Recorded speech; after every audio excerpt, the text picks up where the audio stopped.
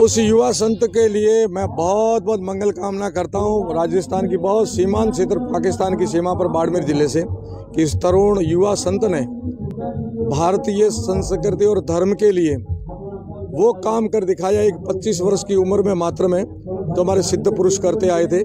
उनके ऊपर उनके गुरु की कृपा है। उस सिद्ध पीठ और सिद्ध आसन पर बैठ करके हमारी भारतीय जो परंपरा थी, सिद्ध परंपरा उसको आज विश्व पटल पर उजागर करके दिखा दिया कि भारतीय सिद्धों की, योगियों की, तपस्वियों की और भारतीय संस्कृति के अंदर क्या शक्ति है, वो सबका मुँह तोड़ जवाब दिया उनको। मैं वंदन करता हूँ यहाँ से।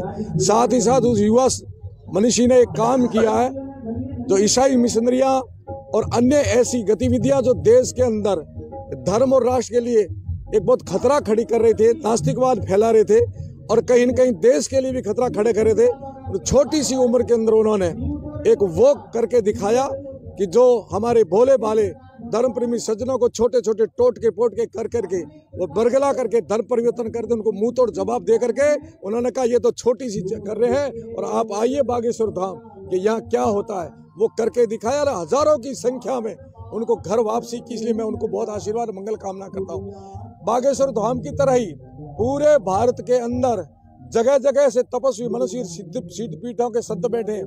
अब उनके अंदर भी एक भावनात्मक आया है भाव कि हम भी उस परिपाटी के अनुसार जो धर्म से भटका रहे हैं धर्म पर किन्हीं किन्हीं प्रकार से हमारे धार्मिक लोगों को किधर उधर ले जा रहे हैं उनको मुँह तोड़ जवाब देंगे और हमारे जितने धार्मिक स्थान हैं वो धर्म के स्थान बन करके राष्ट्र के स्थान बन करके युवाओं को और हमारे श्रद्धालु भक्तों को पुनः धर्म की तरफ़ ले जाने का केंद्र करेंगे।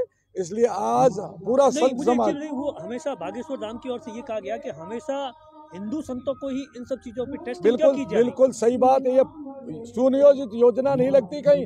जब भी कोई प्रश्न होता है ईसाई मिशनरियों का आपने बहुत सारी जगह देखा आज दिन तक बागेश्वर धाम से पहले यदि कोई ईसाई पादरी ऐसा कुछ करता था तो किसी ने आकर के उसको नहीं टोका, नहीं कभी उसका इंटरव्यू लिया, नहीं उसको ला करके नेगेटिव खड़ा किया। और मैं, हमने देखा, आपने देखा। और जैसे ही बागेश्वर धाम वाले महाराज ने सबसे पहला बड़ा काम किया गया हज़ारों की संख्या में घर वापसी करवाई हमारे भाइयों की, और वो इनको कहीं कहीं पीड़ा हुई है, और ऐसा मीडिया, और ऐसे लोग जिनको भारतीय संस्कृति और हमारा धर्म और हमारी ये परंपरा, सिद्ध परंपरा पसंद नहीं है, उन लोगों ने ये माहौल बना करके ऐसा विषय किया है।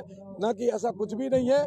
बागेश्वर धाम के अंदर जो तप और तपस्या है, उसका परिणाम है कि आज वो लोगों के अंदर चर्चित विषय बन करके हमारी परंपरा को जीवित कर रहे हैं। ऐसा ही मुल्ले पादरी भी कर रहे हैं। आप जहाँ जाओगे, मज़ारों पर भीड़ लगी हुई है। कभी कोई मीडिया जा करके वहाँ खड़ा नहीं होता है। और परंतु ये बागेश्वर धाम हो, चाहे हमारे संत महात्मा कहीं बैठे हैं, सिद्धि परंपरा के अनुसार वो कुछ करते हैं तो उनको पाखंडी कहा जाता है। संतों को और हिंदू धर्म को टारगेट करके जो कर रहे हैं ना, अब उनको सोचना पड़ेगा, जो आप करें अब जनता आपके बरगला में नहीं आएगी। आप कितना भी बड़ा मीडिया हो, पर आप जनता सब जानती है कि सत्य तो सत्य ही रहता है और वो प्रकाश करके रहेगा। ये हमारा धर्म सत्य है, सनातन धर्म है, अब ये प्रकाश करके रहेगा, किसी के कारण रुकेगा नहीं अब।